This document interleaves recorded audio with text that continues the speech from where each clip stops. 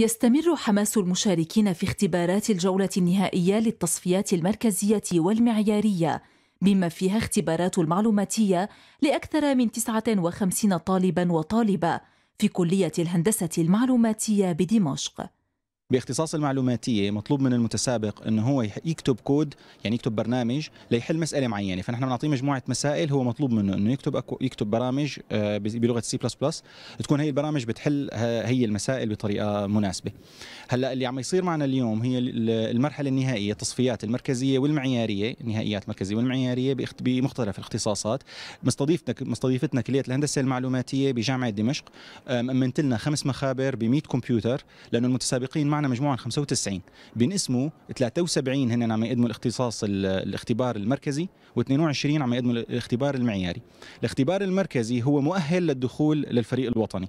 كلية الهندسة المعلوماتية احتضنت طلاب الأولمبياد وأقيمت لهم اختبارات المعلوماتية حيث بدت اختبارات الجولة الثانية أكثر دقة ومعيارية ضمن أجواء المنافسة على عضوية الفرق الوطنية للأولمبياد العلمي السوري.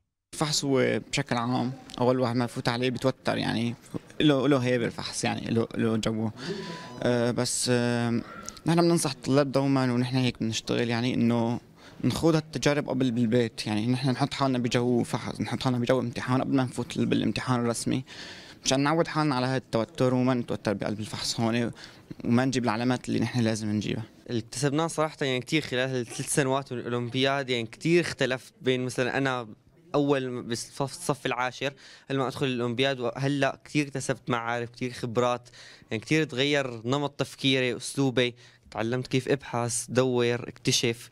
يعني صار عندي رغبة بالبحث رغبة بالتفكير المنطقي. كثير كثير شغلات يعني اختلفت فيني. تحسنت كأسلوب. يعني تعرفت كثير على أشخاص جدد طموحي حاليا إن شاء الله إنه مثل صورة بالأولمبياد العالمي المعلوماتية. الأسئلة عبارة عن أسئلة منطق وبرمجة. أه تساعد الواحد يطور تفكيره ويعني يوسع مداركه والتفكير خارج الصندوق حتى. عم شاركي مع الأولمبياد من وراء مسابقات تانية. فأنا هسه معي فرصة كمان السنة الجاي.